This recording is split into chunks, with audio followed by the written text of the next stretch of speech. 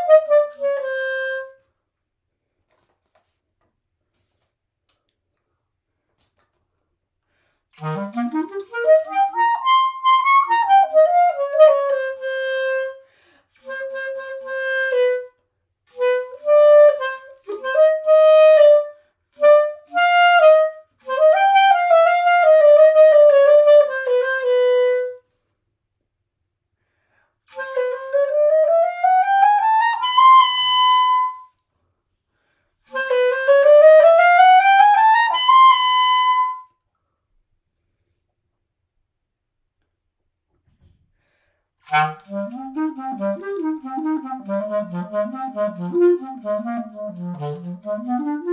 you.